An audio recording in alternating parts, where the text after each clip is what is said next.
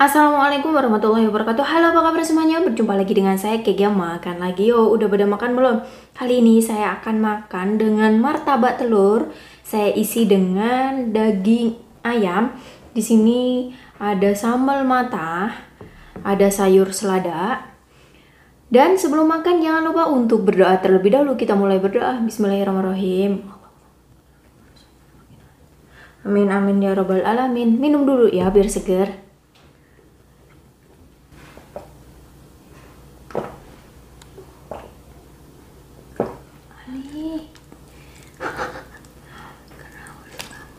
mulai makan. Bismillahirrahmanirrahim. Martabaknya.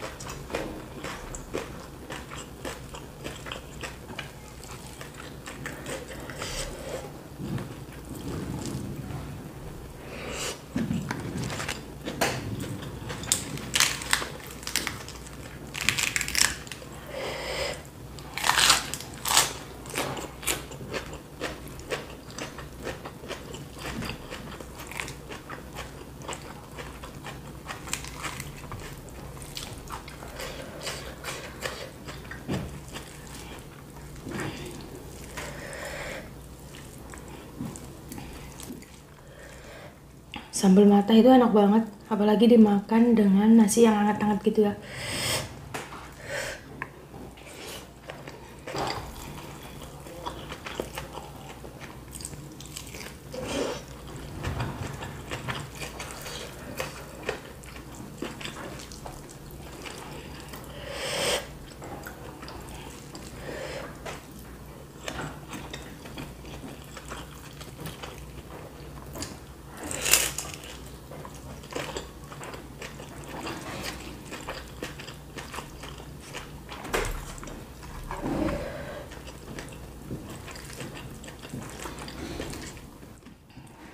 Saya memakai kulit risol yang dari Vietnam karena aku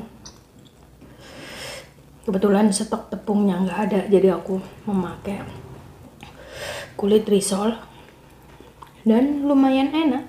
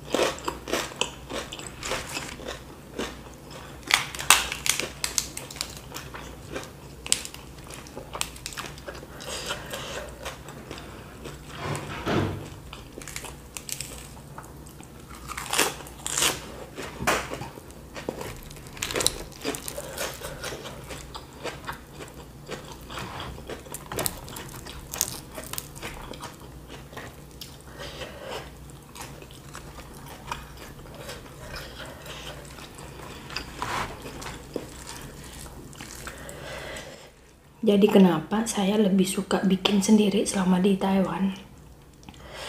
Lebih suka makan bikinan sendiri karena harganya lebih hemat dua kali lipat ya. Kalau beli memang mahal. Kalau martabak telur kayak gini belinya sekitar 250 250 NT atau kalau dikalikan sekitar 125.000 ya belum lagi ongkos freezernya ongkos kirimnya. Jadi lebih mahal. Makanya aku lebih suka bikin sendiri karena bisa ya bisa hemat dua kali lipat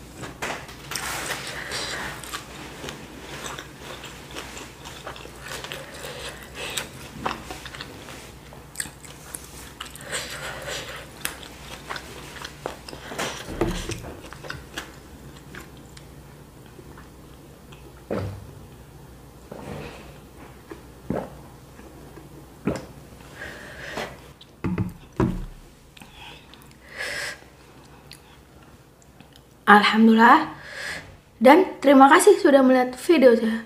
Wassalamualaikum warahmatullahi wabarakatuh. Bye bye sampai jumpa lagi. Bye bye.